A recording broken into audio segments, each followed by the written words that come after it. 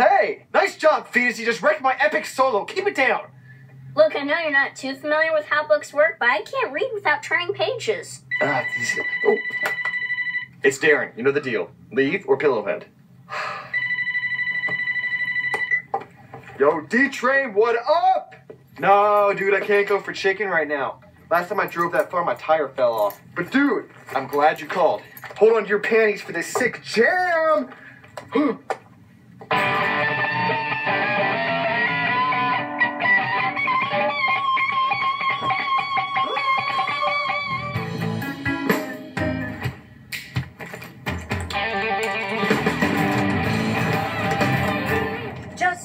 made that little old ant think he could move a rubber tree plant? Come on, everybody, we're cheering up Sue.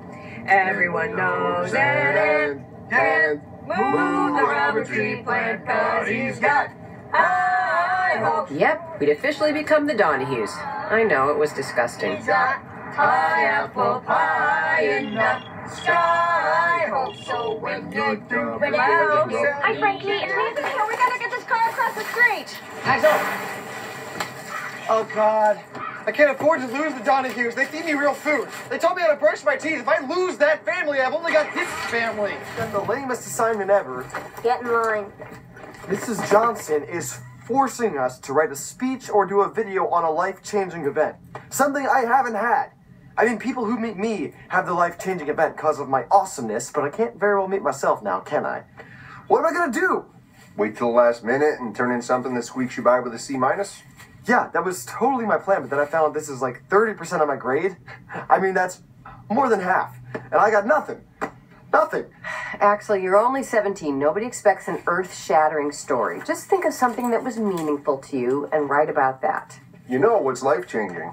Helping your dad snap this tree into 400 pieces so it'll fit in the trash barrel. Dude, it's like a totally lame assignment. I mean, we're only juniors. What big life-changing event we've even had? No, it sucks. Probably just gonna write about the time I got trapped under the ice at Patoka Lake. That counts, right? What? Yeah, I can't decide between the time I helped deliver my baby sister at the carpet store or the time I was pronounced dead for two minutes when I was six. What do you guys like better? What about books? Is there any book that's had an impact on your life? Uh, what am I saying? Hey, what about the summer you spent at the lake with Grandpa and you helped him fix his boat? Oh, yeah. I remember that. I got so tan that summer. I was really hot. You got nothing. I know! I Darrin died for two minutes when he was six. What? He did? His mother never told me this. What happened? You guys suck. Yet no cure.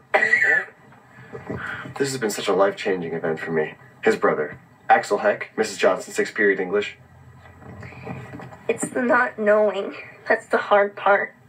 Oh, and the dying. Actually, they're both hard. I have to give my brother all these medicines every day. If I could give any advice, it'd be live, love, laugh. Someone call it a burden to care for a brother so sick with this horrible disease. I call it life changing. I just hope I can one day frolic in the sea. That's all. One day in the sea. So freaking life changing.